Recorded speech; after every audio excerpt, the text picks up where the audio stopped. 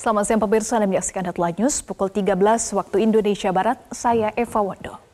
Pemirsa debat ketiga Pilpres 2024 digelar di Istora Senayan, Jakarta dan akan dimulai pukul 19 waktu Indonesia Barat.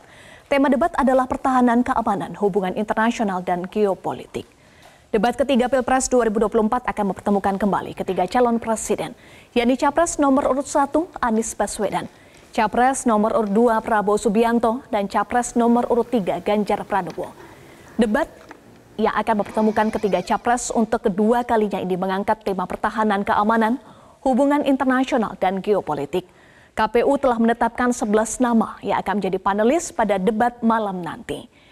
Durasi debat selama 120 menit terbagi dalam enam segmen. Ada aturan tambahan untuk menjelaskan kepanjangan dari singkatan yang disampaikan.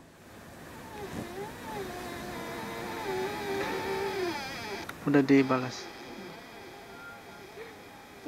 Jelajahi cara baru mendapatkan informasi. Download Metro TV Extend sekarang.